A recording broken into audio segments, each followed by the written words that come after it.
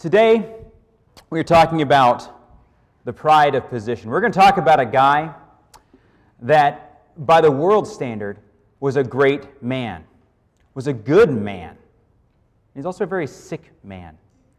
Turn with me to 1 Kings, I'm sorry, 2 Kings chapter 5, and we're going to look at a guy named Naaman. And uh, uh, in all honesty, um, I struggle with pride. I don't know about you guys. Maybe you guys are all, you know, super humble and never struggle with that. But I struggle with pride. And it's interesting, in struggling with pride, you either, you either think that you're really amazing or you think that you're nothing. You know what I mean? Like if you have that struggle, or at least that's my struggle, you know. Um, that, that you, you're, you're going, oh man, I'm incredible, so you have to fight that. And then you're like, oh no, I'm worthless, and you have to, you know, because you're not, you know, because God loves you. And so there's, there's that struggle that comes in there. And, and I don't know how, where Naaman struggled. I, I imagine he struggled initially on the side of, of thinking he was quite something. We're going to talk about Naaman today. And, um, you know, I would, I would appreciate your prayers because uh, as, I, as I'm up here, sometimes uh, pride tries to get in while I'm up here. I, I, this is not planned in my sermon. Uh, it tries to get in, and, um, and that's not okay. And I don't want that. I want to be a man of God. I want to do what He has to say. Um, at the same time, I don't want to slink away and, and not rise to the occasion that He's given me. And so I'd appreciate your prayers uh, for me today in that. Well, anyway, Naaman was successful in the world, oh, as the world defines success.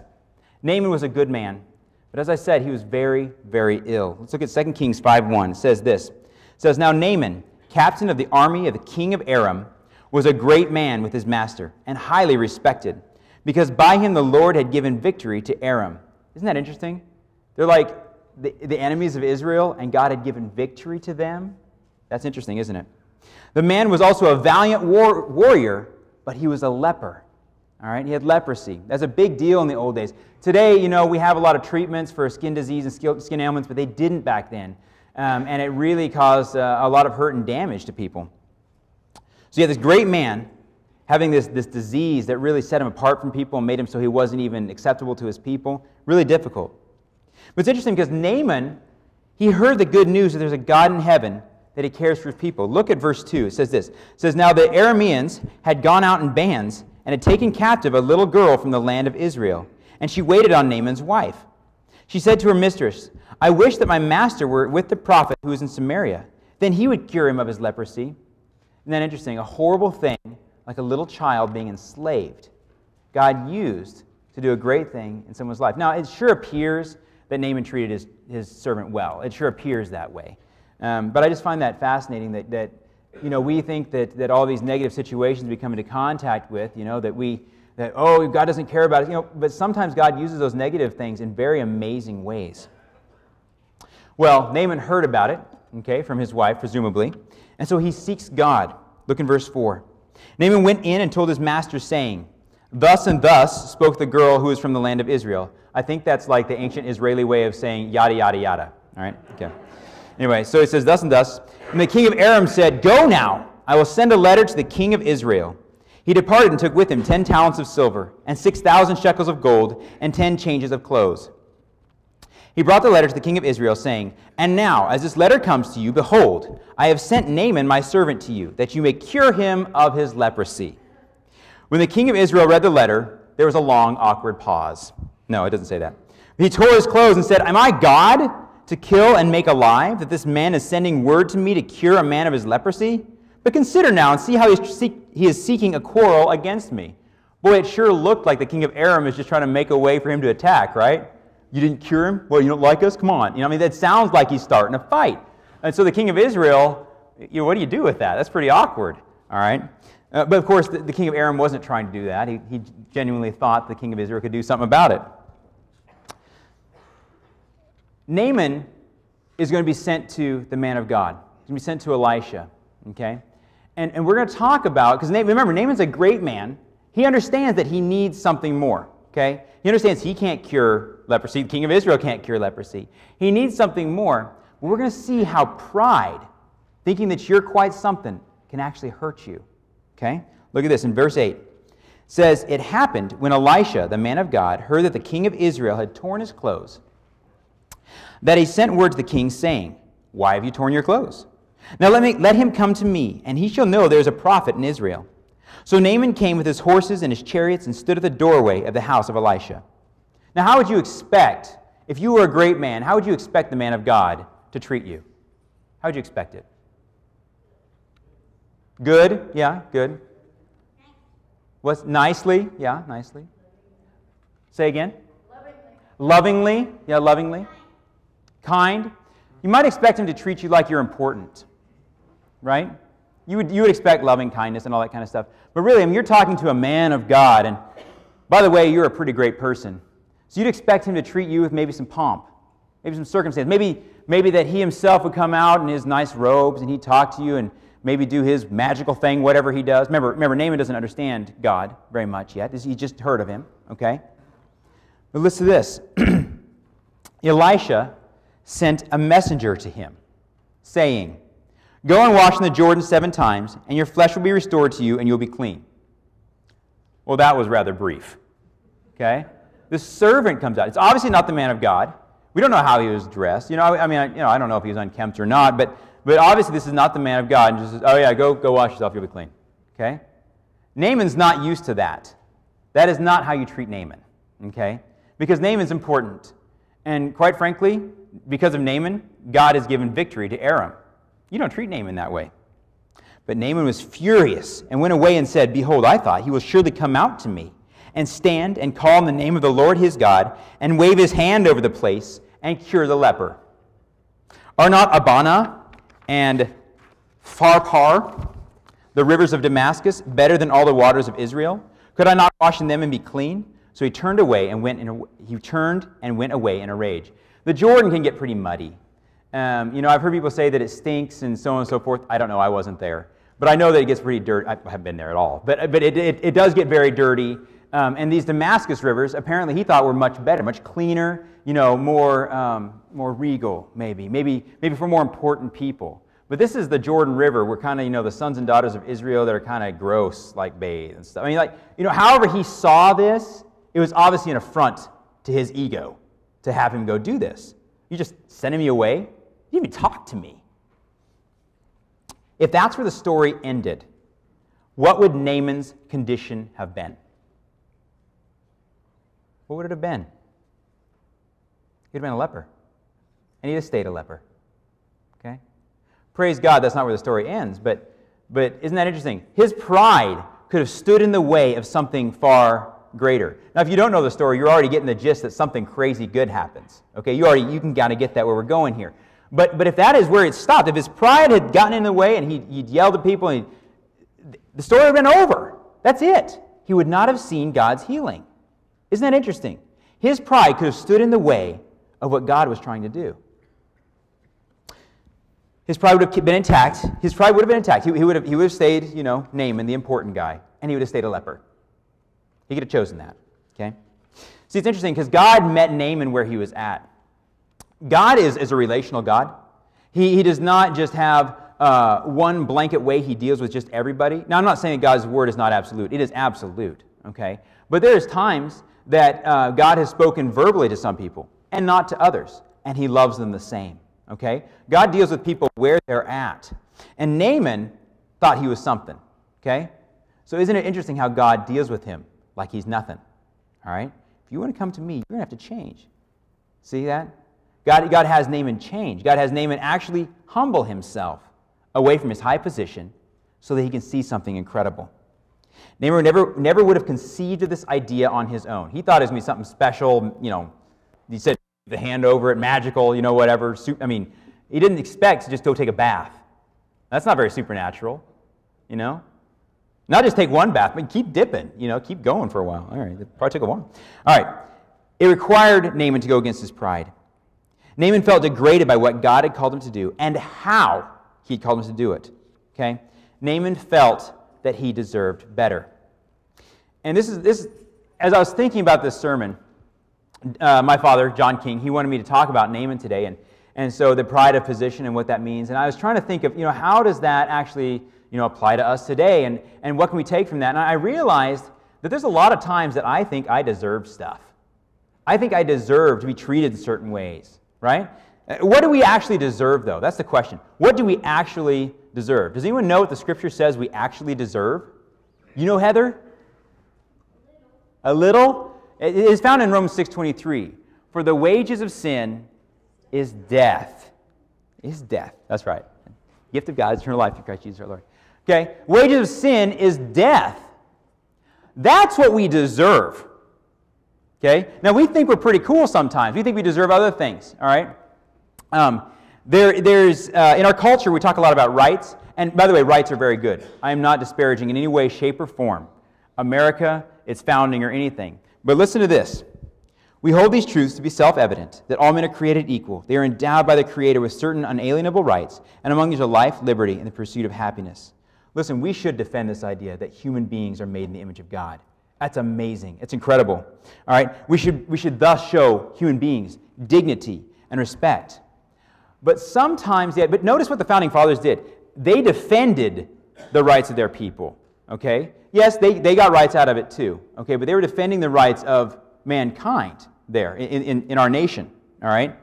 The idea, the idea can get into our heads that we deserve things that we want and that we deserve to be treated in certain ways.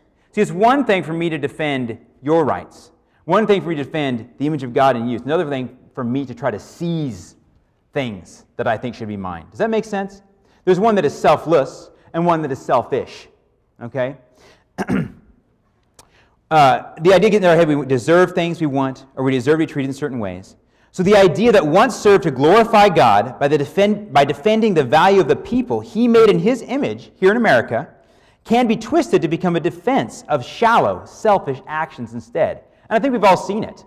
I think we've seen people that are like, you, I deserve this, I deserve that. You know, that's not right. That's not right. What we think we deserve. And in all honesty, if I was to, to look at myself, I could say, well, I'm not like that. Yes, I am. I have been like that. I pray to God that I, that I repented and that maybe that's not in me anymore. You know, but I might find a spot in me that still is. And I'll have to repent of that too. But I don't want to be that person that is that thinks I deserve something that I don't. Okay, because I deserve death. But God gave me grace instead through faith in Jesus Christ. Right? Okay. In our culture, though, in general, we do talk a lot about what we deserve. And I think it gets in our brains. There's a lot of commercial campaigns. Uh, L'Oreal uh, had a commercial campaign once that says, Because I'm worth it. You're worth it. You deserve it. Right? McDonald's, this is kind of old, but they used to say, You deserve a break today. Really? Do you really deserve a break today? You might take a break. You might need a break. But you don't deserve a break. You, you deserve death. All right? Well, I deserve a break. I deserve it. All right, so I go get it. Burger King, remember, have it your way. All right, and then they get the order wrong. No, I'm kidding. All right. But unfortunately, our church culture can kind of reflect that tendency. You know, what if I'm hurt by someone in the church or outside the church? All right, I might think that I have a right to hold a grudge. I have a right to, you don't understand what this person did to me. Right? We, we think we have a right to hold a grudge. Do we have that right? Do we deserve? No, we don't. No, we don't. Okay? What if we don't want to serve others that are in need? You know, I, am I'm passing people by that are in genuine need, and I don't want to serve them, right? Do I have a right to refuse to help? No. I don't have that right. I don't have that right. What if someone seems dirty or uncomfortable for me to be around? There's genuinely hard people to be around, unlovable people to be around, for whatever reason. Right? Uh, Does that give me a right to look down on them or to avoid them? No. No. What do we actually deserve? We deserve death. And since we don't have it, how will we not act like that anymore? If we have Jesus Christ our Lord and Savior, He's taken that away. He's taken the penalty of what I deserved. Out of gratitude, could I not serve Him and serve the people around me? That's the attitude we want. That's the attitude of a believer. David Platt is the guy that wrote this book called Radical. And uh, he, says, uh, he says in it, he says, We are settling for a Christianity that revolves around catering to ourselves when the central message of Christianity is actually about abandoning ourselves. Isn't that interesting? I think we can get caught in that trap where it's just like, oh man, I, you know, this makes me feel good, or this makes me, even in church, you know, I can, I can listen to, to certain music or maybe a certain pastor or whatever. Ah, oh, you know, that person makes me feel good. And, and, that's, there's nothing wrong with that. But if that's the, if that's the only reason I'm doing it, right, that's, that's about self. That's not about, oh, this glorifies God. Does that make sense? Like, like it's, it, it's not bad to get something cool out of church. Okay, that's not the, the idea. We don't have to sit here and do the, uh, the Puritan eight hour long sermon, though we could start today. No, we won't do that. No, we, we can start that. We don't, we don't have to do that, but, but at the same time, at the same time, shouldn't what I go after glorify God? Right? I don't deserve to have a church body that caters to my every whim. I deserve death. I am grateful to have a church body that edifies me. Right? Romans 6:23 For the wages of sin is death, but the gift of God is eternal life through Christ Jesus our Lord. David Platt says, he, he goes on in, in, uh, in Radical, he says, We desperately need to explore how much of our understanding of the gospel is American and how much is biblical. You know, there can be this idea that I, I deserve a good life. Can be this idea that I deserve um, amazing amounts of riches or whatever. And if I would just, you know, do this one thing that God is waiting for me to do, I'll have great riches and stuff. And it doesn't mean that God can't bless. He can. He can, absolutely. Okay? And He does. Materially, He does. Okay? But if I am seeking that ahead of glory to God, there's a problem. There's a problem. That should be used for. I don't deserve it. If I'm blessed with it, that's fine. But I don't deserve it. I don't deserve to keep my money. God has blessed my, my, my wife and I. We've been blessed materially amazingly. You know? We don't deserve any of it. We don't deserve to keep it. And if God should choose to take it, I won't lie, it will be hard. But that's okay because He's God and He's allowed to do that. I don't deserve it. Swallowed pride. How does pride, how's pride working out for us? Like when we are prideful, how's it working out for us? You know, if I decide I don't want to defend or I don't want to forgive that person that hurts me, how's that working out for me? Am I feeling better? No. No, I, am in much of a prison as that other person is. They can't get forgiven, and I can't forgive him. Come on, that's a prison, right? It doesn't work out for us. How is it going to work out for Naaman? Stay a leper, okay. That, that, doesn't, that doesn't help, right? Pride doesn't work out for us very well, okay? It keeps us sitting in that selfish state that never lets us see God's power. You're never satisfied if you're always focused on deserving something more than what you have. Remember uh, uh, Rockefeller? He said, they said, How much money's enough? He said, Oh, just a little bit more, right? And he kept going for more and more money. He was never satisfied his whole life. He had this drive. A lot of people in Hollywood, um, I heard an interview or read an interview on uh, Madonna one time, and, and she, that lady is just driven, driven. If she starts thinking that people aren't thinking about her, she, she, she goes fanatic. I mean, you've seen her behavior. There's reasons why. Like she just is like, I've got to get in the limelight again. I've got to be that person again. I mean, she's driven for that. What a sad existence. God loves Madonna. She needs Jesus. That is a sad existence. I mean, she can't ever be satisfied. She can't ever be content. That is sad. There's no contentment, no joy. Focusing on what we ought to have instead of being thankful for what we do have.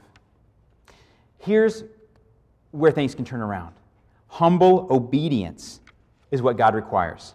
And humble obedience allows you to see God's work. When you're humble and you meet and you, you join God in what He's doing, get ready for something amazing. Look at verse 13. It says this Then his servants came near and spoke to him and said, My father, had the prophet told you to do some great thing, would you not have done it? How much more then when he says to you, Wash and be clean? Okay, go and go to the next slide there, real quick here. There's a picture. Oh, that's not it. No, I'm sorry. We'll get to that later. That's okay. All right, we clean. Uh, so he went down and dipped himself seven times in the Jordan, according to the word of the man of God. And his flesh was restored like the flesh of a little child, and he was clean. That wasn't comfortable. David Platt goes on. By the way, David Platt is not the Bible, but he has some good quotes, so I'm giving to you. He says this I could not help but think that somewhere along the way we missed what was radical about our faith and replaced it with what is comfortable. What is comfortable? That's not what God calls us to. He doesn't call us to comfort, He calls us to obedience. Naaman swallowed his pride and embraced humility. He did the thing that he thought himself too high and mighty to be bothered with. He did something that was uncomfortable for him, and God honored his obedience with healing. What would happen if we didn't think ourselves too important or too deserving to do the things God calls us to do? Uh, maybe, maybe we're even afraid to do those things. You know, fearing we'll lose something in the process, lose like control, the right to do as we wish, or, or the object of a selfish desire. I've had those fears, right? But wouldn't it be nice if God shows us how amazing things could be if we obeyed Him to make our choice easier? Wouldn't it be nice if God is like, listen, if you obey me, here's what I'll do? That would be nice, right? Because then we'd see all the blessing, right? We see all the blessing. I find that interesting because God doesn't typically do that. I'm not saying He never does. God is God and He can do what He wants, okay? He can give us, He can tell us what's going to happen beforehand. That's fine, all right? But isn't it interesting? If He was to do that, would I maybe do it out of selfish motives? You know? If God told me all the blessings I was going to receive, it's like, oh, yeah, that's way better. I'll just go ahead and do that. Okay? That's like, that's selfishness again, right? Now, we do know God blesses. But isn't it interesting that when He doesn't do that, sometimes He meets us and shows us the blessing after we've obeyed? In fact, most of the time, that's the way it works, right? He shows it afterwards. There's a story. Go to the next slide now. Here we go. This is not Naaman, this is Corrie Ten Boom. And uh, I don't know how you get a name like Ten Boom. I, I, mean, maybe you're a very explosive personality or something. But, but uh, anyway, Corrie Ten Boom, she writes a story. Um, uh, she, was, she was in the concentration camps in Germany. Um, what had happened is, is she, and, well, was it in Germany? Uh, I think is Holland, Holland. Um, anyway, she, she when, when the Nazis had taken over, she and her sister and her family, they had tried to make um, a hiding place. There's, in fact, there's a book called The Hiding Place. There's a movie called The Hiding Place. It's about this time they made this hiding place for Jews. They knew what was going on was wrong, was sick, was messed up. They knew something was wrong, so they tried to do something about it. Okay? And for a while, they were successful, and then they got caught. All right? And at that point, in Nazi Germany, if you went against the powers that be, well, you went to the camps too. Okay? So she and her, and her families uh, went to the camps. And I'm not sure how many of them survived, but she did survive and it's pretty miraculous. Check that story out sometime. Uh, it's very worth uh, looking at. But later on, Corrie Ten Boom went on to speak and to talk to people. And I'm going to read a story that comes out of that. And I want you to see what happens when Corrie Ten Boom obeys. Okay? It was in a church in Munich that I saw him a balding, heavy set man in a gray overcoat, a brown felt hat clutched between his hands. People were filing out of the basement room where I had just spoken moving along the rows of wooden chairs to the door at the rear. It was 1947. The, the war ended in 1945. And I had come from Holland to defeated Germany with a message that God forgives. It was the truth they needed most to hear in that bitter, bombed out land. And I gave them my favorite mental picture. Maybe because the sea is never far from a Hollander's mind, I like to think that it's where forgiven sins were thrown. When we confess our sins, I said, God casts them into the deepest ocean, gone forever. The solemn faces stared back at me, not quite daring to believe. There were never questions after a talk in Germany in 1947. People stood up in silence. In silence, collected their wraps. In silence, they left the room. And that's when I saw him, working his way forward against the others. One moment, I saw the overcoat and the brown hat. The next, a blue uniform and a visored cap with its skull and crossbones. It came back with a rush, the huge room with its harsh overhead lights, the pathetic pile of dresses and shoes in the center of the floor, the shame of walking naked past this man. I could see my sister's frail form ahead of me, ribs sharp beneath the parchment skin. Betsie, how thin you were. Betsie and I had been arrested for concealing Jews in our home during the Nazi occupation of Holland. This man had been a guard at Ravensbrück concentration camp where we were sent. Now he was in front of me, hand thrust out. Forgive me, I'm going to try a accent here. A fine, a fine message, Fräulein. How good it is to know that, as you say, our sins are at the bottom of the sea. And I, who had spoken so glibly of forgiveness, fumbled my pocketbook rather than take that hand. He would not remember me, of course. How could he remember one prisoner among those thousands of women? But I remembered him and the leather crop swinging from his belt. I was face to face with one of my captors, and my blood seemed to freeze. You mentioned Ravensbrück in your talk, he was saying. I was a guard there. No, he did not remember me. But since that time, he went on, I've become a Christian. I know that God has forgiven me for the cruel things I did there. But I would like to hear it from your lips as well, Fräulein. Again, the hand came out. Will you forgive me? And I stood there, I whose sins and had again and again been forgiven, and could not forgive. Betsie had died in that place, Could he erase her slow, terrible death simply for the asking? It could not have been many seconds that he stood there, hand held out. But to me, it seemed hours as I wrestled with the most difficult thing I had ever to do. For I had to do it. I knew that. The message that God forgives has a prior condition that we forgive those who have injured us. If you do not forgive men their trespasses, Jesus says, neither will your Father in heaven forgive your trespasses. I know it not only as a commandment of God, but as a daily experience. Since the end of the war, I had, come home, had, had had a home in Holland for victims of Nazi brutality. Those who were able to forgive their former enemies were able to return to the outside world and rebuild their lives, no matter what the physical scars. Those who nursed their bitterness remained invalids. It was as simple and as horrible as that. And still I stood there with the coldness clutching my heart. But forgiveness is not an emotion. I knew that too. Forgiveness is an act of the will, and the will can function regardless of the temperature of the heart. Help, I prayed silently. I can lift my hand. I can do that much. You supply the feeling. And so, woodenly, mechanically, I thrust my hand into the one stretched out to me. And as I did, an incredible thing took place. The current started up in my shoulder, raced down my arm, sprang into our joined hands, and then this healing warmth seemed to flood my whole being, bringing tears to my eyes. I forgive you, brother, I cried, with all my heart. For a long moment we grasped each other's hands, the former guard and the former prisoner. I had never known God's love so intensely as I did then, as I did then. Philippians 2, 3 through 8, it says this, says, Do nothing from selfishness or empty conceit. With humility of mind, regard one another as more important than yourselves. Do not merely look out for your own personal interests, but also for the interests of others. Have this attitude in yourselves, which was also in Christ Jesus, who, though he existed in the form of God, did not regard equality with God a thing to be grasped, but he emptied himself, taking the form of a bondservant, and being made in the likeness of men, being found in appearance as a man, he humbled himself by becoming obedient to the point of death, even death on a cross.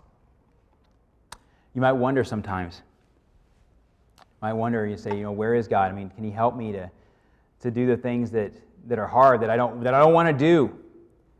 And uh, sometimes you might even start wondering about where he is, who he is, and, and, and if he's even there. My friend, um, Jake Culver, said something very awesome. And uh, he says, Are you having doubts about God and who he is? He said, Try obedience for a while. See what happens. Is that interesting? Is that God often meets us on the other side of obedience. God meets us there. Pride is not an easy thing to get rid of, okay? I don't think it was easy for Naaman to do that. He was not accustomed to that, all right? But God can meet us there. Forgiveness and putting oneself in the place where I forgive someone who's hurt me as badly as Corrie ten Boom had been hurt would not be easy. But God meets us on the other side of obedience. Naaman's heart and his life were changed towards his creator. When he returned to the man of God with all his company and came and stood before him, he said, Behold, now, I know there is no God in all the earth but in Israel. So please take a present from your servant now. But, he said, but Elisha said, As the Lord lives before whom I stand, I will take nothing. And Naaman urged him to take it, but Elisha refused. Naaman said, If not, please let your servant at least be given two mules' load of earth, for your servant will no longer offer burnt offering, nor will he sacrifice to other gods, to the Lord. He's going to take the dirt from Israel and go make an, it sounds like, he's going to make an altar over there to sacrifice to God on. He's like, I'm not even I'm, I'm here, man. This is, this, I'm, I'm with you guys. In this matter, may the Lord pardon your servant. When my master goes into the house of Rimmon to worship there, and he leads on my hand, and I bow myself in the house of Rimmon. That was a foreign god. You can go to the next one. There's a picture of him I found. You see that? There he is. Yeah. It's just an ancient Aramean god. He's a false god. When I bow myself in the house of Rimmon, the Lord pardon your servant in this matter. So Elisha said to him, Go in peace. So he departed from him some distance. God changed Corrie ten Boom and Naaman after they had humbled themselves and obeyed. Listen, we would like to have wisdom, unity, community, healing, and be rewarded by God, right? I mean, those are things we would like to have. Like, we'd like to see those in our lives, right? But if you look at the scriptures, you find some interesting things. These blessings all come by putting God in his proper place and putting our own fleshly selves and our fleshly desires aside. Isn't that interesting? See, it's not about us, it's about him, right? The key to wisdom is God's words, not men's. If you want wisdom, you go to God for that. All right? The key to unity is to submitting to one another in Christ. Okay? The key to community is serving the needs of others. The key to healing is humility. The reward, God rewards those who seek him first above themselves and their own pride. That's a constant theme in scriptures is not me, You, not me, you. It's constant in scriptures. That's how you defeat pride. Okay? You put God in his proper place.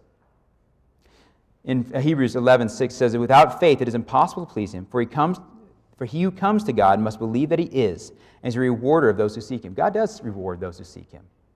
Okay? You got to humble yourself and approach him that way. God, I deserve this. No, you don't. No. But he does want to bless you. There is a story that goes right after this. It's about Gehazi. I won't go into it because I don't, I don't think it's uh, necessary to do so. But Gehazi was the, the helper of Elisha. And Gehazi had kind of the opposite idea. You know, he saw that money that Naaman had, and he's like, man, I want some of that. You know, he was more interested in the things of this world. I mean, this amazing thing had just happened, right? This commander of Aram had just been healed, and Gehazi was more interested in getting, getting money. Do you think if God can heal someone of leprosy, he can get you what you need monetarily? Yeah. Yeah. Gehazi, though, he wasn't thinking about just the things he needed. He, he's, he's thinking, oh man, I could do this, I could do that. You know, he was thinking about himself. There's pride in that, isn't there? Isn't there greed in that? So Gehazi goes after him. And uh, he, he runs after him. And Naaman is on the chariot and looks back, sees this guy coming. Oh man, something's wrong. So he gets off. He says, Oh, hey, what? Is anything wrong? Gehazi says, Oh, oh, my master has some friends come in and he wants you to give him some gifts. Okay? All right, you know, pride just brings more sin. He's lying, right? He says, He wants more gifts. So Naaman says, Oh, all right, all right, yeah, yeah, yeah, here, take this. And he says, Take some more, take more. You know, he, he gives him some more stuff. He gives him two talents of silver, all right, and some clothes and stuff. Gehazi goes back, and, and the servants go with him. And it says, when he comes to the hill, there must have been a hill right behind the house there. When he comes to the hill, Gehazi takes the stuff from the servants and sends them off. That doesn't look suspicious at all, does it? You know, I'll let you carry it until we get close to the house, then you better just go ahead and leave. Anyway, Gehazi takes him into the house and he hides it. And Elisha has him come stand before him. He says, Where have you been, Gehazi? He says, Your servant went nowhere. And Elisha says, Was my heart not with you when you saw the man in the chariot, when you took the silver from him? He says, Therefore his leprosy will cling to you and your descendants forever. And Gehazi left leprous, white as snow. Pride brings death. It says in James 1:15, says, Then when lust is conceived, it gives birth to sin. When sin is accomplished, it brings forth death. Let's not think about what we deserve. Let's think about the amazing gifts God has given us and act accordingly. Be like Naaman. Don't be like Gehazi. Let's pray. God, thank you for this day and for all you've given us in Christ. I pray that you help us to become more like you in every way, Lord. I pray that you'd help us to put those, those things aside that we think we deserve, Lord, and instead uh, take up humility, Lord, and that we would uh, seek you and, and seek to obey you and do what you'd have us do. Thank you so much for all you've given us. In Jesus' precious name, amen. If God has spoken to your heart and you'd like to choose him as your Lord and Savior today, we invite you to come.